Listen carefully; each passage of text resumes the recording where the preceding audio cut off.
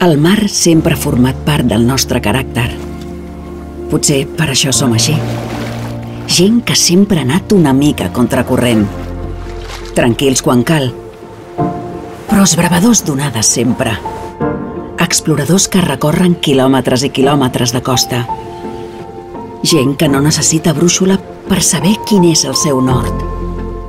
Dels que, quan cauen, saben ressorgir amb més força. Gent que salpa quan no hi ha sol per veure'l néixer a l'horitzó. Dels que tenen el rumb fixat en un somni i lluiten per tenir les aigües més netes i més vives.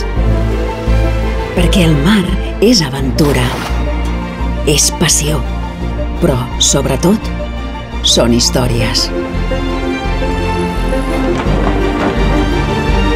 Catalunya, terra de mar. Catalunya. Generalitat de Catalunya.